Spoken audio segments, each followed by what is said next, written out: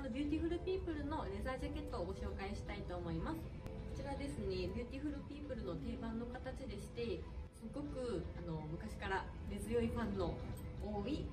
ジャケットとなっております。結構ですねあのスタイリストの方とか芸能人の方とかもさらっと羽織られてること多いので意外と皆さん目にしてることが多いかなと思います。で普段私 M サイズなんですけど今1 4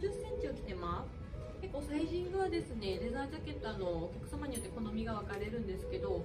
結構ビタビタに着てかっこよく着こなしたいっていう方も多いです。で今私が140でこのぐらいの袖丈だったりとかサイジングですね。回ってみます。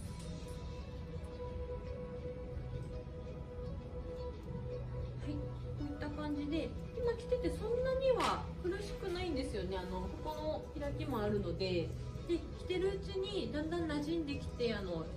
皮自体も柔らかくなってきます。なのでちょっとこう歳月かけてそういうあのレザー自体の変化も楽しんでいただけますので是非一度手に取ってみてください。